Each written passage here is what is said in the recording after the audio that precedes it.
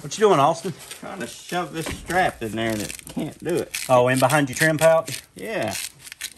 So what you need is you actually need a trim pouch that's got Velcro on the outside. Right. Kind of like this top one right here. So let me ask you a quick question. You got two of these top ones that's got Velcro, right? Mm-hmm. Why not just put this one that's got Velcro on the bottom and put your other Mares one right here? That's a good idea. That would work, wouldn't it? Yeah. I'm gonna try.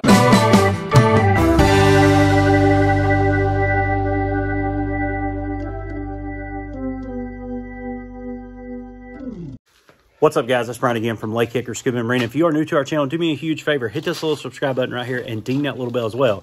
That way you guys are going to be notified every time we upload new content. Now, I want to introduce you to Mr. Austin real quick. Austin's one of our relatively new divers here. Just got his dry suit sir. Everybody say congrats, Austin. Thank you.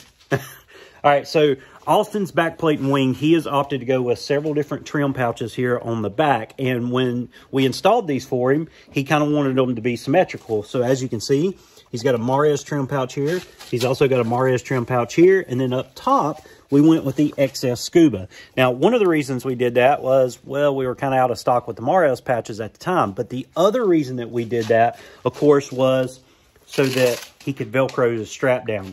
If we pay close attention to what it looks like here, you'll see that this trim pouch here, there's no way to Velcro that strap over the top, and you've actually got to thread that strap in behind. Well, this can be very difficult, especially with the hook and loop Velcro, to actually do that. So that's where these XS Scuba pouches really come in to play here, because you can actually Velcro directly to the pouch. And of course, you'd want to do that so you didn't have an entanglement.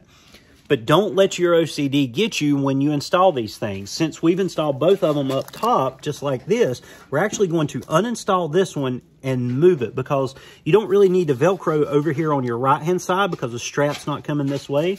So all we're going to do is take this top one here and we're going to put it where this Mares pouch is. We're to take this Mares pouch and put it up there. That way Austin can still have all four of his trim pouches to get trimmed out when he's in the water or to add a couple extra pounds when, of course, he's in his dry suit. So how's that working, Austin? Works a whole lot better. Whole lot better, absolutely. And both your straps are nice and secure now. You don't have any type of entanglements. And you don't have to sit there and struggle with getting that strap behind the pouch, do you? No, it just fits right over. Fits right over. Look at that. Top one's Velcroed, the bottom one's Velcroed. No entanglements whatsoever. And he still has his trims over here. Worked out a lot better. So there you go, guys. Be innovative. When you buy gear like that, realize there's more than one way to skin a cat. You can still have your little OCD issue where you've got to have the weights just perfect, but at the same time, put those Velcro pouches on the right side. They don't both have to be on the top with your two clip pouches on the bottom. Change them around to where it actually works for you and it's practical. Guys, I really hope you enjoyed this video. I hope it's a cool little scuba tip that helps you out in the future as well. If you're having trouble trying to stuff your cam strap up in there or the XS, get you some Velcro patches from XS Scuba. As a matter of fact, if you're interested in those pouches, check out the description down below. I'll put you a link where you can actually purchase them for you as well. They work great for back mount. They even work even better for side mount as well. But guys, that's going to be it for today. If you got any questions, drop me a comment down below and I'll try to help you out the best I can. I'm going to go ahead and sign off. Take care. God bless. And I'll see you in the next video.